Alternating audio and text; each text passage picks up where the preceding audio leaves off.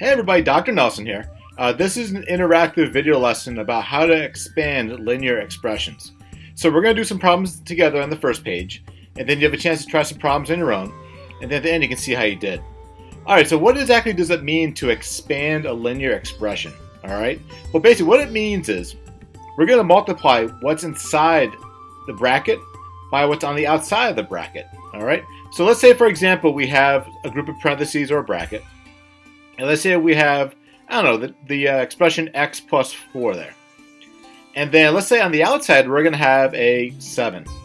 All right, so we're going to multiply each term inside the bracket by what's outside the bracket. So 7 times x is 7x. And then plus 7 times 4 is 28. All right, now this should look familiar to you. All right, this is basically also the distributive property. All right, so distributive property. So let's do three together. So here we have five groups of happy face plus sad face. So five times happy face is five happies. And then five times a sad face is five sad faces. All right, now this time we have a negative four. So remember our rules about uh, multiplying positive and negatives. So negative four times 2x is negative 8x. And then negative 4 times 5y is negative 20y. And there it is. All right, and then the last one we have is 1 third times 9x minus 6y plus 12. So 1 third times 9x uh, is going to give us 3x. And then 1 third times 6y is a 2y.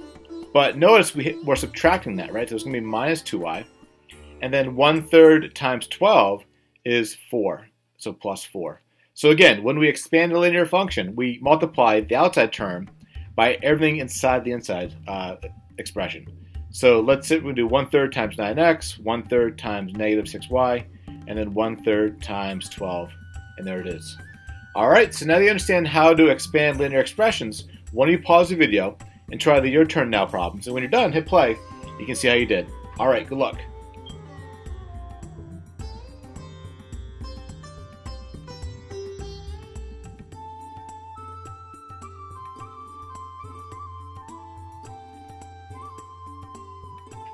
Alright, welcome back. Let's say you do with these practice problems. So here we have two groups of 3n plus 5. So 2 times 3n, that'll give us 6n, plus, and then 2 times 5 gives us 10. So 6n plus 5, that's our answer. Uh, the next one, we have negative 3 times 7x minus 15.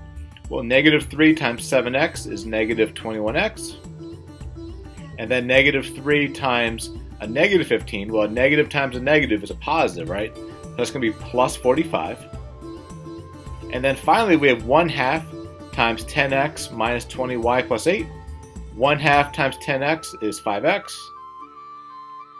Minus 1 half times 20y is 10y. And then plus 1 half times 8 is 4. And there's the answer. All right, how'd you do?